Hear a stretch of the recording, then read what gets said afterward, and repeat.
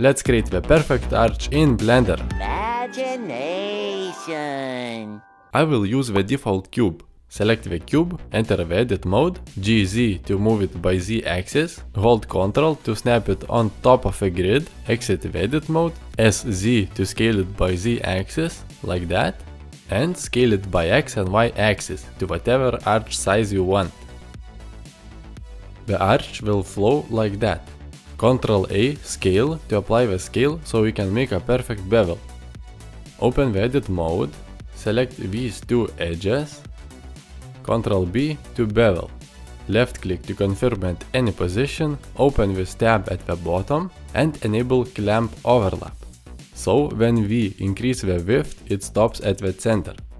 And increase the segments to make a nice arch. I think 10 would look great in a game. Now let's switch to vertex select. Here at the top center we will have overlapping vertices. To fix that, A to select all, M by distance to merge all overlapping vertices. After that, switch to face select, select this face, hold shift select this one, I to inset, left click to confirm, I will set the thickness to 0.6, I think it looks pretty good on my mesh. And now is where the magic happens. With these faces selected, go to Edge, Bridge Edge Loops, and BAM!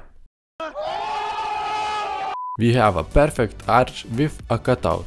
Exit edit mode, right click, shade auto smooth.